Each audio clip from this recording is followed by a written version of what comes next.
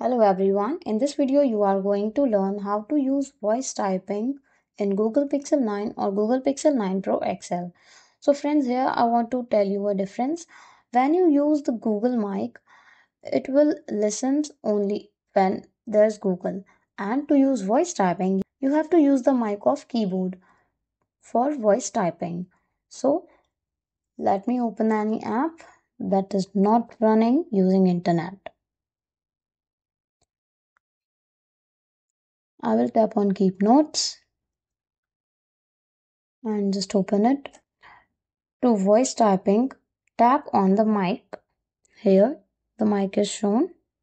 Now, tap here, then speak now will be written here. Then you have to speak and just be quiet when you have completed your sentence. Otherwise, whatever you will say, it keeps typing. So I will tap on mic. What will be the weather today? As yesterday was raining.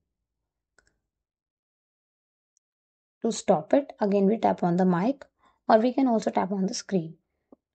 In this way, you can use voice typing in Google Pixel 9 or Google Pixel 9 Pro XL.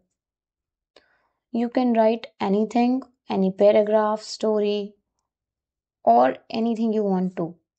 Thank you. Stay tuned and subscribe to our channel.